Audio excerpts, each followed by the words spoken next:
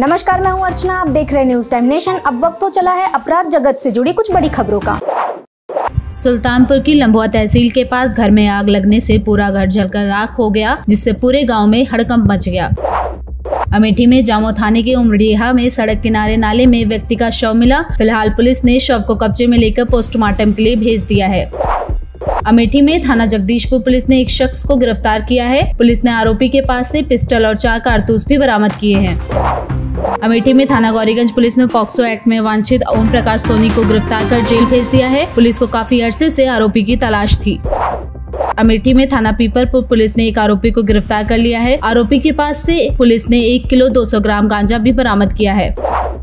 अयोध्या में थाना पूरा कलंदर पुलिस और सर्विलांस सेल ने डकैती की योजना बनाने वाले चार आरोपियों को गिरफ़्तार कर लिया है। आरोपियों के पास से पुलिस ने हथियार भी बरामद किए हैं।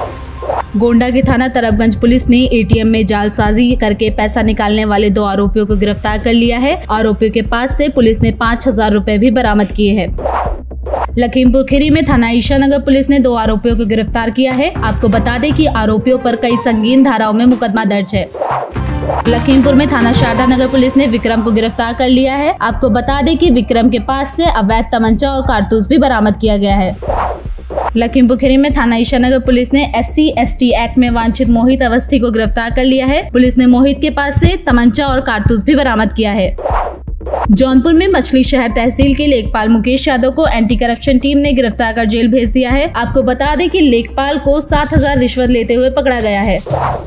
जौनपुर में थाना गौरा बादशाहपुर पुलिस ने बलात्कार के मुकदमे में वांछित शेरान को गिरफ़्तार कर जेल भेज दिया है।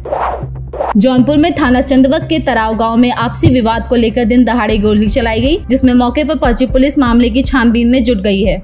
आपको हमारी खबरें कैसी लगी? कमेंट सेक्शन में ज़रूर बताएँ। अगर आप इन खबरों को फेसबुक पे देख रहे हैं तो वीडियो को लाइक करके पेज को फॉलो करें। इसके अलावा अगर आप इन खबरों से यूट्यूब के ज़रिए जुड़े हैं तो चैनल को सब्सक्राइब करके बेलाइकन दबाना ना भूलें। नमस्कार। सब्सक्राइब करें आपका अपना चैनल न्यूज़ टाइम नेशन और हर खबर सबसे पहले पाने के लिए बेल आइकॉन ज़रूर दबाएँ। और हाँ खबरें पसंद आ जाएँ तो लाइक और शेयर करना ना भूलें।